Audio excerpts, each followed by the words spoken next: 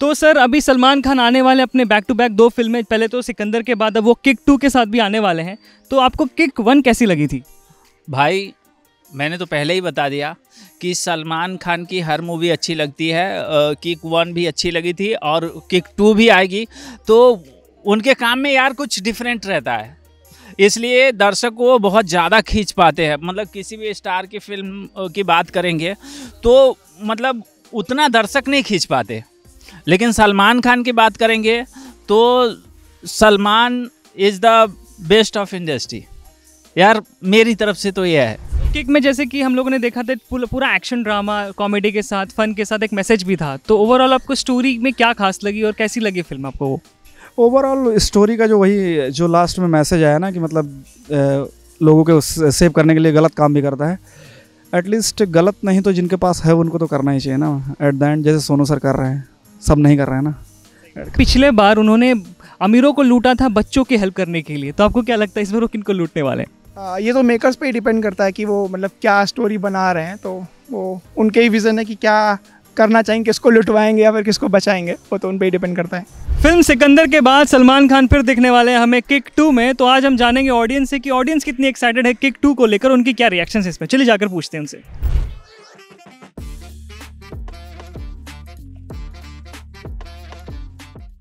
तो सर, अभी सलमान खान आने वाले अपने बैक टू बैक दो फ़िल्में पहले तो सिकंदर के बाद, अब वो किक टू के साथ भी आने वाले हैं। तो आपको किक वन कैसी लगी थी? भाई, मैंने तो पहले ही बता दिया कि सलमान खान की हर मूवी अच्छी लगती है किक वन भी अच्छी लगी थी और किक टू भी आएगी। तो उनके काम में यार कुछ डिफरेंट रहता है।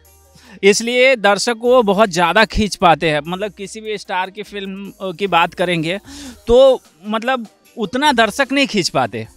लेकिन सलमान खान की बात करेंगे तो Salman is the best of industry मस्त था मज़ा आया था भाई सलमान खान की तो किक अच्छी थी और सुल्तान और बजरंगी भाईजान तीन फ़िल्में अच्छी लगी मेरे को। तो किक में जैसे कि हम लोगों ने देखा था पूरा एक्शन ड्रामा कॉमेडी के साथ फन के साथ एक मैसेज भी था। तो ओवरऑल आपको स्टोरी में क्या खास लगी और कैसी लगी फ़िल्म आपको वो? ओवरऑल स्टोरी का जो वही जो लास्ट में मैसेज आया ना कि मतलब ए, लोगों के सेव करने के लिए गलत काम भी करता है एटलीस्ट गलत नहीं तो जिनके पास है उनको तो करना ही चाहिए ना। एट द एंड जैसे सोनू सर कर रहे हैं सब नहीं कर रहे हैं ना। यार ठीक ही ठाक लगा था मेरे को उस वक्त तो। मतलब मैं बहुत छोटा था जब वो आई थी तो। मुझे तो अच्छा लगा था तब देख के ही। यार सच बताओ तो मुझे आज ही पता चला पर जब पता चला ना तो बहुत ज़्यादा हाइप हुआ क्योंकि किक वन भी बहुत अच्छा था नवाजुद्दीन सिद्दीकी है उसमें इतने बेहतरीन एक्टर तो किक टू भी मुझे लग रहा है कि सेम ही हाइप और सेम ही एक्साइटमेंट लेवल होगा तो देखते कब लगेगा दो तीन साल तो लगे जाएगा आने में। तो वेरी एक्साइटेड अबाउट इट बहुत ही अमेजिंग थी। उसमें जो रन, रणदीप हुड्डा सर ने और नवाज़ भाई ने एक्ट किया सुपर और सलमान भाई तो ऑलवेज़ हमेशा अच्छे रहते हैं। और उसका जो थीम वगैरह था वो बहुत ही सुपर था। और किक टू मैं तो बहुत ज़्यादा एक्साइटेड हूँ कि देखने के लिए। After so long Salman sir दिखेंगे। वन बेहतरीन मूवी थी यार, और उसके अंदर जो नवाजुद्दीन सिद्दीकी सर थे, उन्होंने तो फैंटास्टिक वर्क करा था। जो पूरा क्राफ्ट था ना, वो निखर के आया था। मतलब उसकी जो एक बेहतरीन काम था, जिसको ऑडियंस ने लाइक करा था, वो नवाजुद्दीन सिद्दीकी थे। रणदीप हुडा सर ने भी बहुत बेहतरीन काम करा था, और सलमान सर तो फिर जिस तरीके से अडेप्ट करते हैं चीज़ को, वो आउटस्टैंडिंग थी भाई। आ, कहा जा रहा है कि पिछले बार जो किक वन जब आई थी उसमें उन लोगों ने लूट कर बच्चों लोग की मदद की थी ताकि बच्चों लोग की आ, पढ़ाई में उनकी जो भी उनकी हॉस्पिटल मतलब जो भी उनकी हॉस्पिटल में जो भी प्रॉब्लम होते हैं उनकी उनकी जाँच करवा पाए। तो आपको क्या लगता है इस बार वो किनको लूटने वाले हैं? भाई वो किसको लूटेगा ये तो नहीं पता लेकिन कहीं ना कहीं वो बहुत ज़्यादा लोगों की मदद करेंगे ये मुझे पता है। सलमान खान जो हैं, वो जो भी मतलब फ़िल्म या कुछ भी वो करते हैं तो यार उस बंदे को पैसे की पड़ी नहीं है।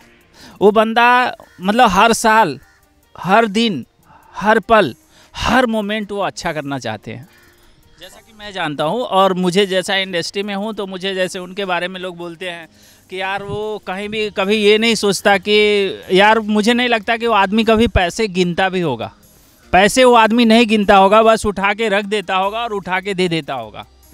मतलब जस्ट लाइक कर्ण, जैसे रामायण में महाभारत में आपने कर्ण का नाम सुना है कि कर्ण इतने अच्छे थे कि उनको एक बार बोला गया था कि अर्जुन कृष्ण ने कहा कृष्ण से अर्जुन ने कहा कि मैं सर्वश्रेष्ठ, श्रेष्ठ धनुधर हूँ और मेरे अलावा आप हमेशा कर्ण का नाम क्यों लेते हैं यार?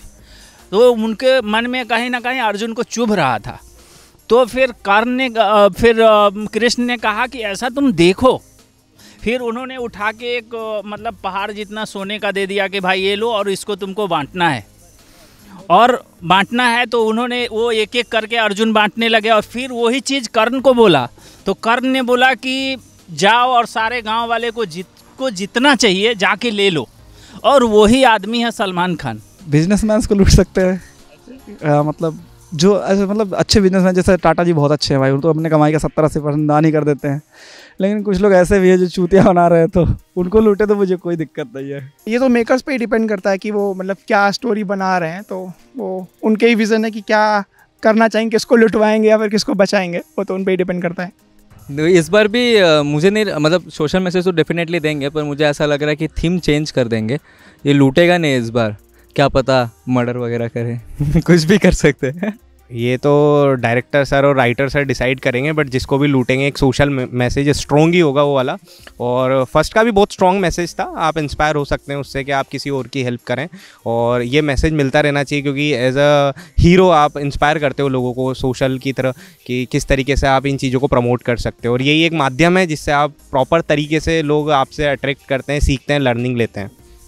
अब इसके बारे में तो मैं कुछ नहीं कह सकता। वो तो एक्साइटेड एक्साइटमेंट है कि देखना पड़ेगा क्या है। इससे पहले नवाजुद्दीन सिद्दीकी ने एज एन विलेन उस फ़िल्म में काम किया। बहुत अच्छी लगी एक्टिंग लोगों ने बहुत तारीफ़ भी की। तो आपको क्या लगता है उनकी एक्टिंग कैसी थी और इस बार कौन होने चाहिए विलेन अब यार उनके बारे में क्या ही कह लीजेंड है भाई। बहुत तगड़े विलन है। ले सकते हैं कई लोग हैं भाई। जयदीप अहलावत है बहुत ज़बरदस्त विलन का रोल मुझे लगता है कर सकते हैं। विजय वर्मा है बहुत प्यारा नेगेटिव कैरेक्टर कर सकते हैं। बहुत सारे एक्टर हैं जो मतलब अच्छी एक्टिंग कर सकते हैं उस फ़िल्म में। पर मेरा मेरा मतलब मेरे यही सब फेवरेट है, विजय वर्मा, जयदीप अहलावत और भी एक दो लोग हैं, जैसे के के मेनन। ये लोग शांत है पर निगेटिव करते हैं तो बहुत खतरनाक दिखते हैं स्क्रीन पे। भाई, उनको देख के तो हम लोग आए यार इंडस्ट्री में। हम लोग जो भी एक्टर है, अगर नसीर साहब ओमपुरी साहब और जो मतलब नए कलाकार ये मनोज वाजपेयी और इसके अलावा आप एक नाम लेंगे और अनुपम खेर, राजपाल यादव मतलब ऐसे मतलब हमारे पास स्टार के अलावा भी इतने अच्छे अच्छे एक्टर हैं ना यार हमारे हमारे समय में वो वो एक्टर हैं। और ये बहुत हमारे लिए अच्छी बात है कि हमारे समय में ऊपर वाले ने इतना अच्छा अच्छा एक्टर इस समय में कि हम लोगों को मौका मिलेगा उनके साथ काम करने का। तो नसीर साहब तो यार। नवाजुद्दीन सिद्दीकी? अरे भाई भाई मैंने क्या कहा? नवाजुद्दीन सिद्दीकी हो गए या पंकज भैया हो गए, पंकज त्रिपाठी जी। तो ये सब तो यार, क्या बात है? नहीं, मुझे तो लगता है कि नवाज़ सर तो नवाज़ सर है, उनको होना चाहिए, पर वो तो अब नहीं आएँगे। तो उनके तरह कोई, अगर कोई एक ऐसा बेहद अच्छा एक्टर आ गया, जैसे मनोज बाजपेयी आ गए, या फिर जयदीप अरावत आ गया, विजय वर्मा आ गया, या फिर साउथ से अगर किसी विलेन को लाए तो एक पैन इंडिया फ़िल्म भी बन सकता है। तो एक अच्छे एक्टर की उम्मीद है तो देखते हैं। और किक वन में हमने जैकलिन फर्नांडिस को देखा था सलमान खान के साथ। तो आपको क्या लगता है इस बार भी उनको ही होना चाहिए किसी नई एक्ट्रेस को होना चाहिए? उसे तो नहीं होना चाहिए क्योंकि वो भाई इतने टैलेंट की कमी तो है नहीं हमारे यहाँ। इतने एक से एक भरे हुए हैं तो उम्मीद है कि कोई अच्छा एक्ट्रेस आए और नोन भी हो नहीं भी नोन हो तो कोई फ़र्क नहीं पड़ता है एक्टिंग मैटर करता है बस वही। बाकी तो फिर सलमान खान है ही। सलमान खान तो सलमान खान है उनकी तरह तो कोई नहीं।